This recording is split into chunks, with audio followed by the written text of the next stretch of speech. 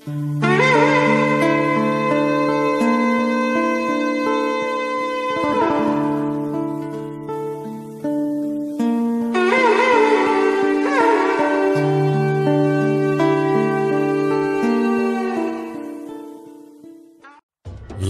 Abraham berangkat dari situ ke tanah Negeb, dan ia menetap antara Kades dan Shur.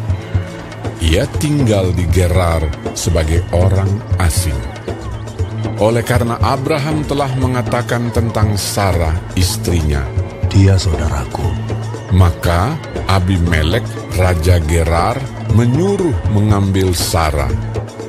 Tetapi pada waktu malam, Allah datang kepada Abimelek dalam suatu mimpi serta berfirman kepadanya, Engkau harus mati oleh karena perempuan yang telah kau ambil itu.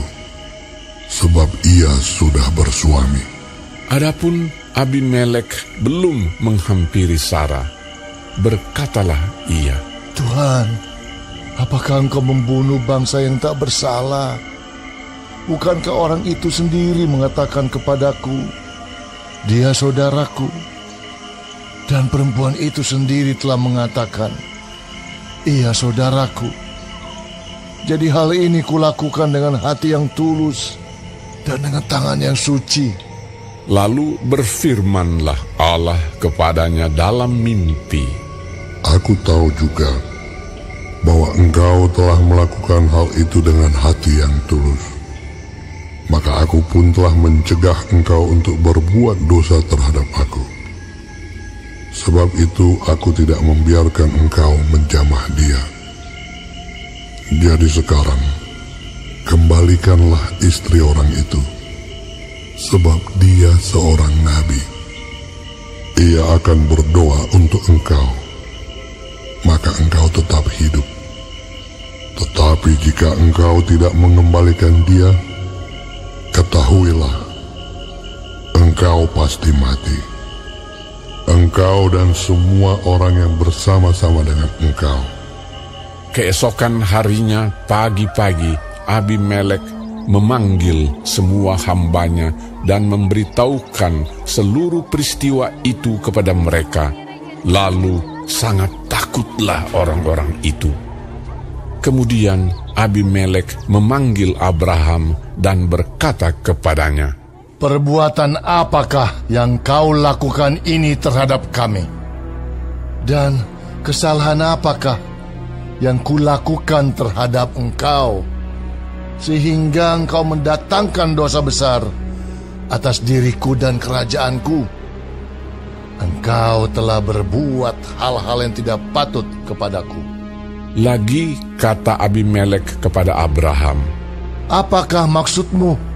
Maka engkau melakukan hal ini.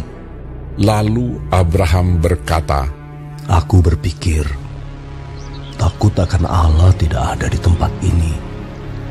Tentulah aku akan dibunuh karena istriku. Lagi pula ia benar-benar saudaraku.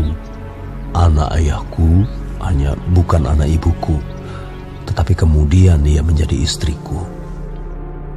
Ketika Allah menyuruh aku mengembara keluar dari rumah ayahku, berkatalah aku kepada istriku, tunjukkanlah kasihmu kepadaku, yakni katakanlah tentang aku di tiap-tiap tempat di mana kita tiba.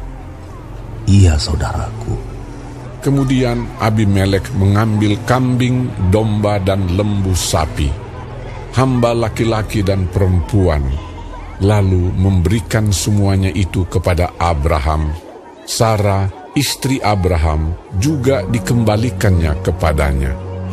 Dan Abimelek berkata, Negeriku ini terbuka untuk engkau.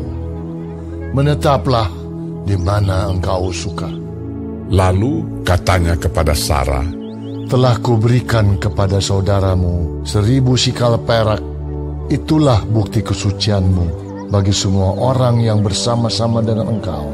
Maka dalam segala hal engkau dibenarkan. Lalu Abraham berdoa kepada Allah, dan Allah menyembuhkan Abimelek dan istrinya dan budak-budaknya perempuan, sehingga mereka melahirkan anak.